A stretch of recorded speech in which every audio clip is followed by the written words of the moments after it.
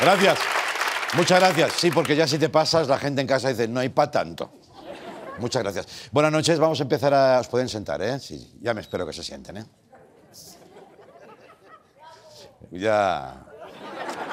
Qué tonta. Bueno, vamos a empezar hablando de proyección urbanística de calidad, de arquitectura en mayúsculas que ayuda a la vida de la ciudadanía, de proyectos sólidos, al fin y al cabo de Nacho Cano. Hoy nos hemos levantado con este titular sobre su ciudad azteca en Madrid, en la que está en su cabeza, porque el hombre sigue R que R intentando llevarla a cabo. Entonces dice el titular, adiós a la pirámide azteca de 29 metros en Hortaleza. Ya, pero tranquilos, porque el titular sigue. Nacho Cano planea ahora llevar su polémico festival a IFEMA. Ahí está. Sí. Joder, qué susto, ¿eh? Ay, pues menos mal, qué tranquilidad. Poca broma porque Nacho Cano ha reinventado el concepto de estafa piramidal. Bueno, es un, es un visionario. Yo lo llamaría Proyecto 360, ¿eh? 360 para él, quiero decir. Pero por si no conocéis Madrid, los que nos vean desde fuera, IFEMA es la feria de muestras, también conocida como el Blue Space de la ciudad. ¿eh? Hay que hacer un hospital extra, IFEMA. ¿Cuánto vale? Cállate. Eh, ¿Dónde metemos lo de Nacho Cano? IFEMA. ¿Dónde van los muebles de la sede de Ciudadanos? IFEMA también. Ahí es muy grande, cabe de todo. Como con el tema de la pirámide hay un poco de lío, que si se hacía, que si luego no, que si se va a IFEMA, vamos a ver, ah, espérate. Creo que para hacerlo fácil, eh, lo mejor es cantarlo, no, bueno, sí, contarlo y cantarlo con canciones de Mecano. Para empezar, no voy a cantar yo, ¿eh? no os asustéis. Ya, más de noche. No, no lo va a hacer, no lo va a hacer.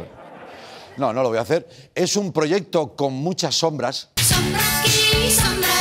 Nacho Cano ha elegido la ciudad de Madrid, entre otras capitales, porque no hay marcha en Nueva York. En el camino ha habido varias polémicas con Ayuso. De navajas por una mujer. Y la pirámide ha dicho... No me puedo levantar. Pero él ha seguido con el proyecto porque... Me cuesta tanto olvidarte. Y al final ya te digo yo que esto va a quedar todo en... Hasta aquí la pieza, gracias. Gracias.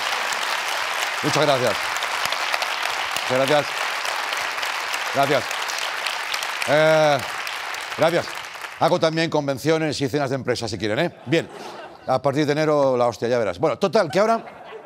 Ahora, pero serás que haya gente, mucha gente, ¿eh? No para cuatro, ¿eh? Total, que ahora para ir a IFEMA tú necesitas un acuerdo con la Comunidad de Madrid que preside Ayuso por si alguien se ha olvidado que se ha dado golpe en la cabeza. Y yo me aventuraría a decir que le va a decir que sí, porque no es la primera vez que Ayuso contrata o apoya a personas de su confianza. Como todos, ¿eh? Todos hacen lo mismo. De hecho, podría hasta montar un equipo. Sería este. Hace años, un comando compuesto por tres de los mejores artistas y famosos del país fueron abandonados por culpa de polémicas que ellos creían que no habían cometido. Hoy sobreviven como soldados de fortuna. Si trabaja usted en la Comunidad de Madrid y tiene algún problema, quizá pueda contratarlos.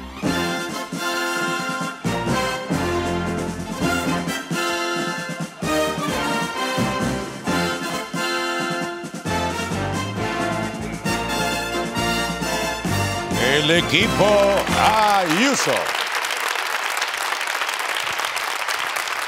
Ahí está. Bien, seguimos hablando de dinero que desaparecen.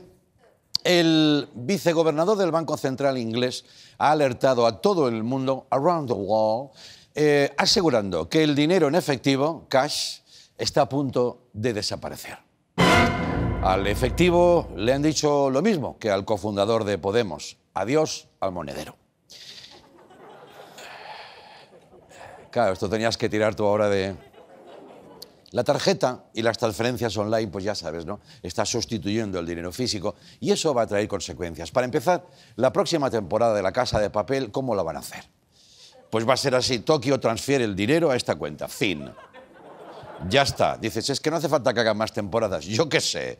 Llámame nostálgico, pero no sé, vamos a perder algunos clásicos. Esos señores mayores con los bolsillos llenos de monedas que les suenan en los pantalones. ¿Tú te has fijado? Como los trineos de Papá Noel. O esa señora en el súper rebuscando el céntimo en el monedero, que siempre está ahí en el culico del monedero. Ahora tardará lo mismo, pero intentando abrir el bizum, ¿sabes? Que por cierto, ojo con el bizum que lo transfiere al diablo. ¿eh? Poco se ha hablado de ese momento en el que haces un bizum a la persona que está en la agenda debajo de la que querías tú mandarle. Que a lo mejor hace tres años que no, lo, no, no hablas con esa persona y le llegan 45 euros. ¡Hostia! Claro, dices. ¿Esto qué es? ¿Esto qué es?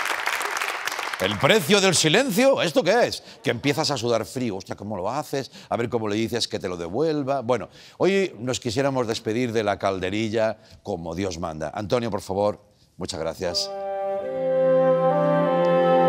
Nos hemos reunido aquí para decir nuestro adiós a la moneda. Su vida ha sido redonda, pero siempre ha mostrado dos caras, ¿verdad?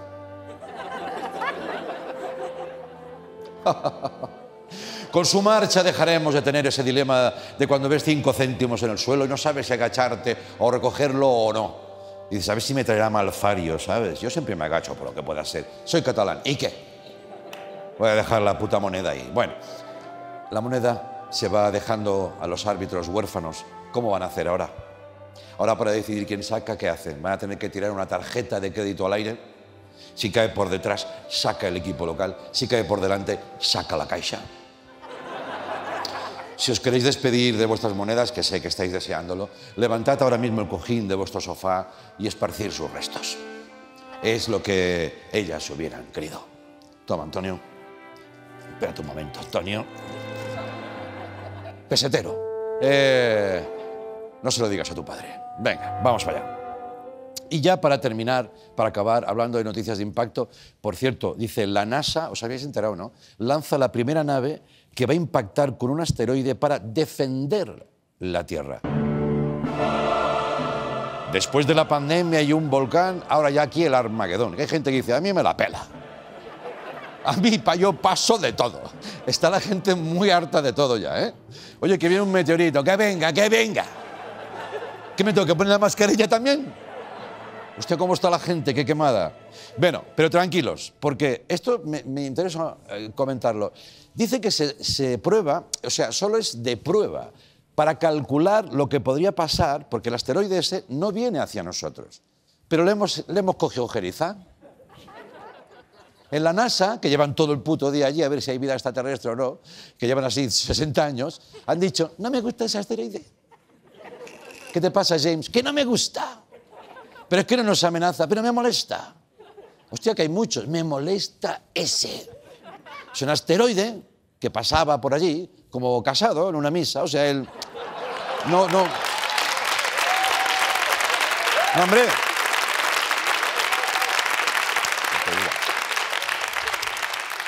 ¿Cómo sois? Siempre buscando, buscando. En serio, es un asteroide que también te digo, si el asteroide no ha hecho nada, a ver si estamos provocando nosotros, destruyendo eso, y, y- y provocamos al mismo tiempo una- un encadenado de, yo qué sé, la misión se llama DART y el cohete es un Falcon, pero no el de Pedro Sánchez, ¿eh? Imagínate que hubiera ido él, ¿eh? Dice que hay que desviar una roca que molesta, déjame a mí. Tengo experiencia con Susana Díaz. No, no, no es lo mismo, ¿eh? Bueno, yo qué sé. Los expertos, a- atención, dicen, consideran que a nivel tecnológico, esta técnica es el enfoque más maduro para mitigar un asteroide potencialmente peligroso. O sea, el más maduro es lanzar un pepinazo que vale un huevo y hacer añicos un asteroide que no ha hecho nada y no amenazaba. Esto es la madurez, tíos. Pues yo no sé lo que será la juventud. Y hasta aquí el tema que hemos titulado Maneras absurdas de tirar el dinero. También es verdad que esta misión coincide con que hoy Sergio Ramos ha sido por primera vez convocado en el PSG. Y yo digo, lo que nos habríamos ahorrado. Mira.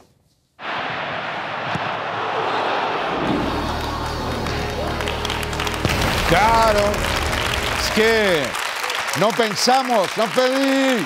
Bienvenidos Emotiv, venga.